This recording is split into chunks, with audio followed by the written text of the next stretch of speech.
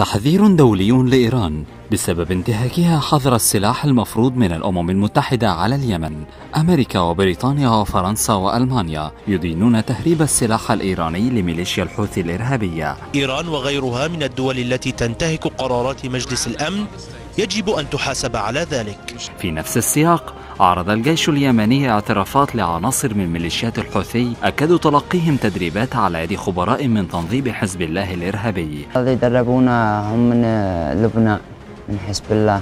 وكشفوا عن حجم التضليل الذي تمارسه الميليشيا على أتباعها. مغرروا بنا أن الحوثيين غرروا بشباب تحالف دعم الشرعية حذر من خطورة تهريب السلاح الإيراني إلى اليمن وخطره على أمن المنطقة والعالم. هي تحاول السيطرة على أهم المضايق العالمية ألا وهو باب المندب في تحد خطير للأمن والاستقرار الإقليمي والدولي.